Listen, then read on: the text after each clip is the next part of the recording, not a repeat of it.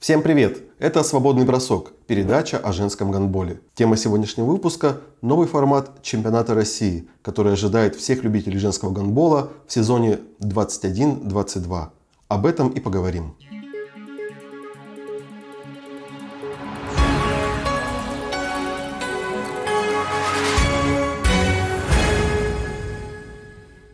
На прошлой неделе Федерация гандбола России анонсировала изменения в регламенте чемпионата России среди женских команд на сезон 21-22. Суть этих изменений заключается в том, что 12 команд будут разделены на две шестерки.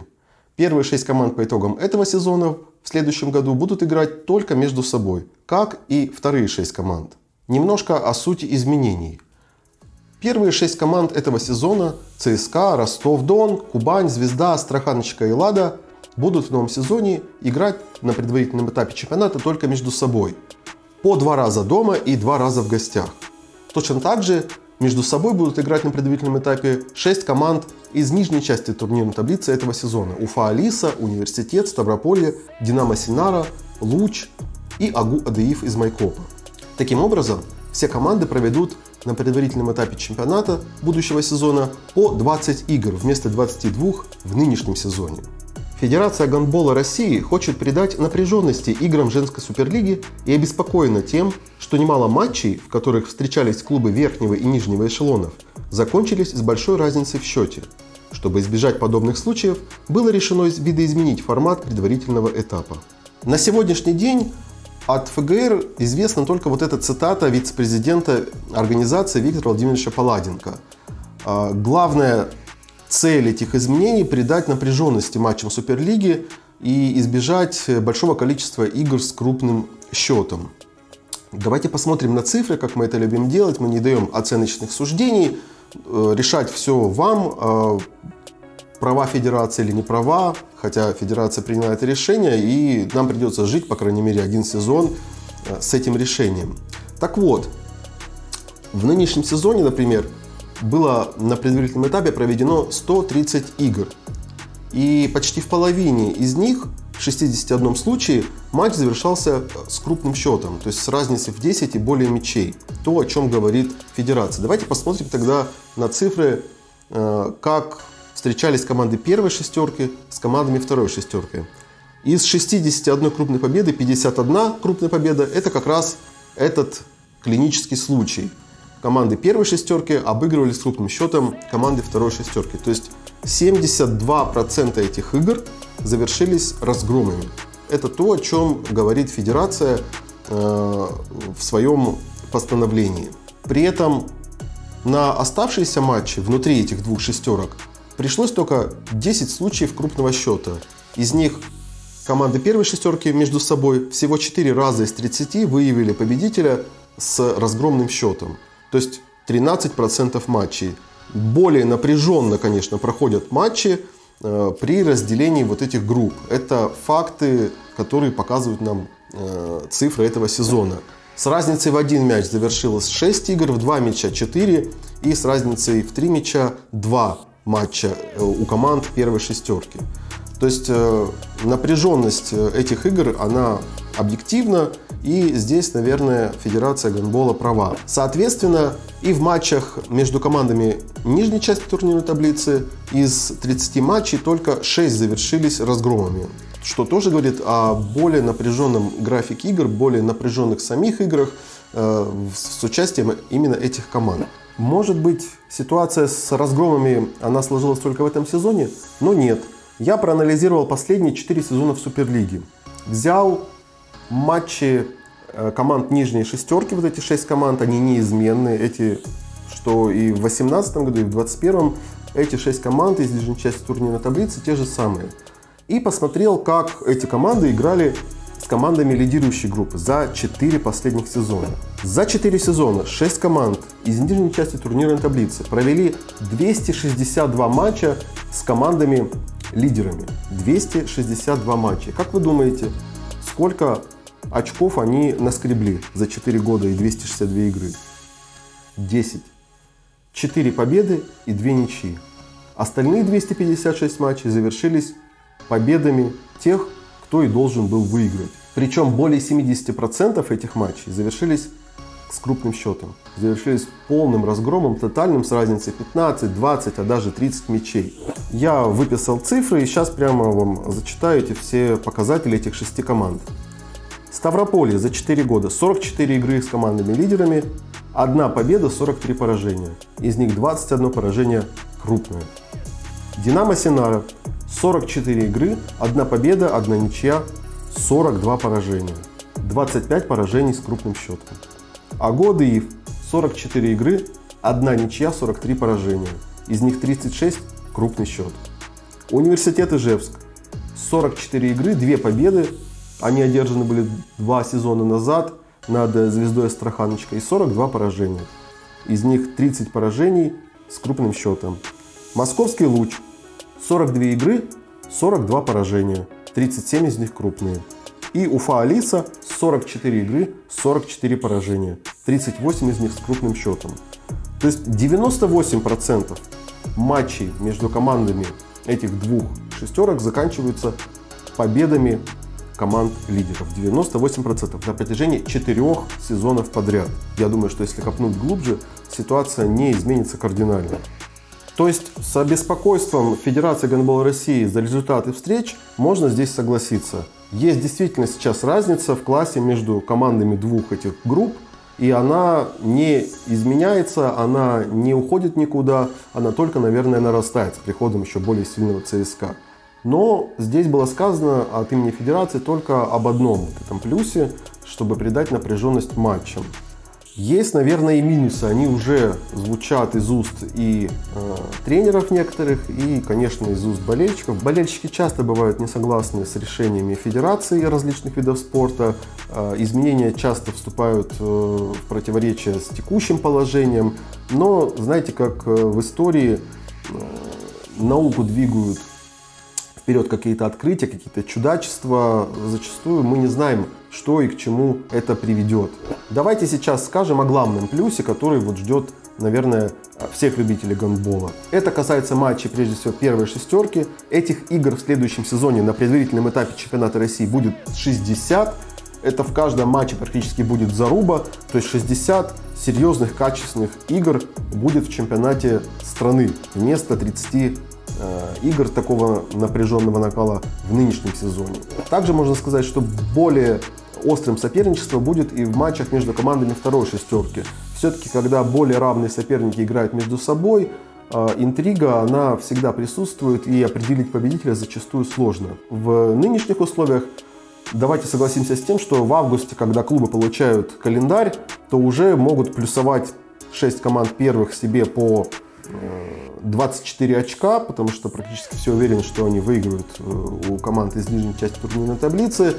И куда идут эти матчи, да, как бы они не интересны ни болельщикам зачастую в тех городах, куда приезжают слабые команды, ни командам-лидерам, которые отправляют полурезервные составы на выезд далекий или дают отдохнуть большинству лидеров своих в матчах с теми клубами, а, которые они уверены выиграют. Теперь можно сказать и о некоторых минусах, которые напрашиваются сами собой. Первое, это, наверное, э, жалобы тех любителей гандбола в городах, которые э, попадают э, в нижнюю шестерку. Да, болельщики этих городов, которые ходят на гандбол, они не увидят в течение сезона практически команды лидеры. Ни Ростов-Дон, ни ЦСКА, ни Астраханочку, ни Кубань, ни Звезду, ни Ладу. Это, конечно, минус большой для этих любителей э, гандбола, но у них есть возможность увидеть эти команды, сыграв хорошо в своей группе, выйдя в плей-офф, и там можно встретиться уже с серьезным соперником. Вопрос в том, много ли ходит болельщиков на гандбол в этих городах. Он, я думаю, не очень корректен, потому что, ну, кто ходит, тот и ходит. Наверное, даже если один человек приходит на гандбол, он имеет право увидеть игру своей команды, игру Э, команды соперника очень сильного.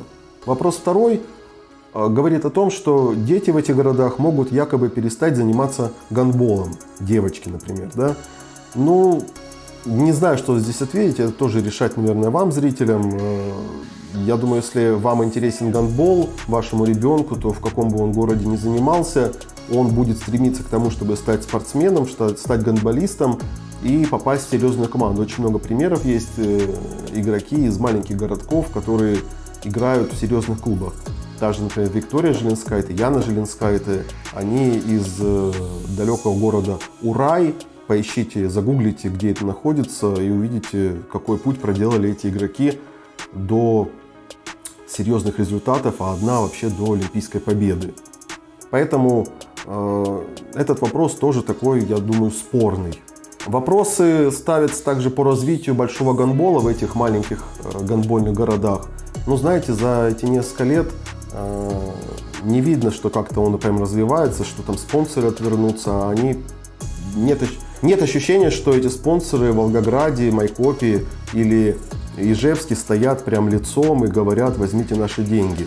Наверное, результаты, они говорят сами за себя, и сегодня эти клубы не готовы конкурировать никак с командами-лидерами. Это факт. Ну и еще одно мнение уже от специалиста, тренера звезды Алексея Гумянова. Он его высказал по итогам матча с Кубанью. Послушаем его. Ну, мое мнение, что минусов гораздо больше, чем плюсов. Ну, давайте возьмем по порядку. Вот, допустим, напряженность игры во второй шестерке и в первой шестерке увеличится. С одной стороны, это хорошо.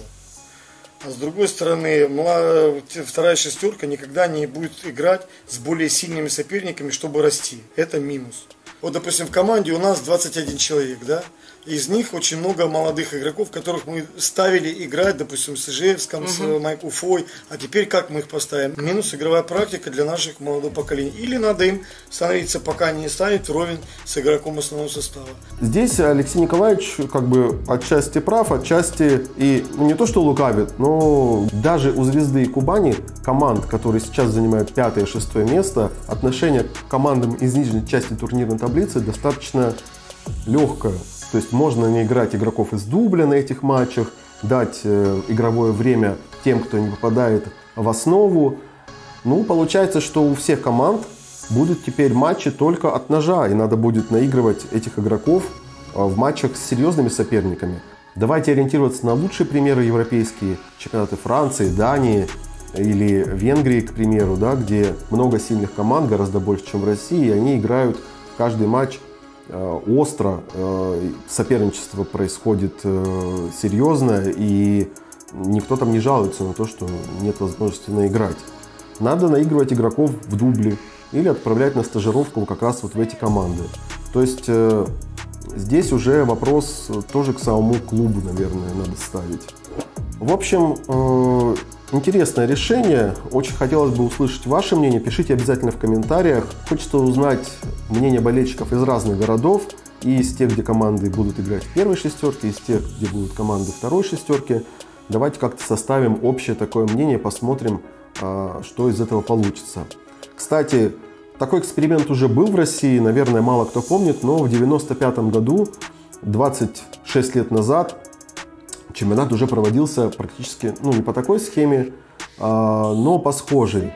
По итогам сезона 94-95 12 команд разделили на две шестерки. Первую шестерку оставили называться Суперлигой, вторую шестерку отправили в высшую лигу.